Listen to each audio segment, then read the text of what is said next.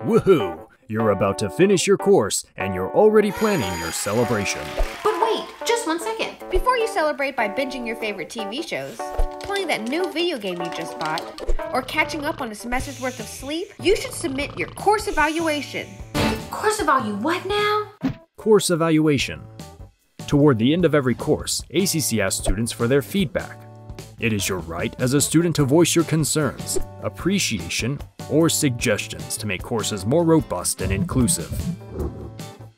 Did you know that in just the 2019 to 2020 academic year, we used 9,600 pink envelopes and 180,000 forms? But with the thanks of technology, course evaluations can be done online, using your computer, tablet, and even your phone. That means that not only are you helping improve courses for future students, you're also reducing your carbon footprint.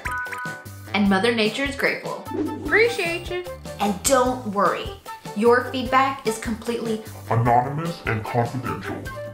Faculty can only see evaluations after they've submitted grades.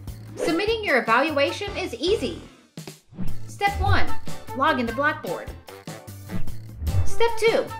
Select Course Evaluation in the left navigation.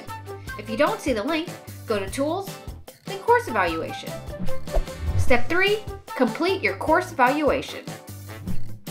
Be sure to double check your professor and course name. The evaluations allow me as a student to express how I felt my classes went. Whether it be that I really enjoyed a class, or maybe I thought it could use some improvement. I believe that my feedback can bring the faculty's attention to what worked and didn't during the course. I highly encourage my fellow students to spare a minute and give your honest feedback and make positive changes to our learning environment. So you might be thinking, students fill out their course evaluations, and then what happens? As a professor at ACC, I look forward every semester to our course evaluations. You might ask why. I'm always interested in hearing students reflect on what they've accomplished in class and their suggestions on ways in which I can rethink my teaching for future classes.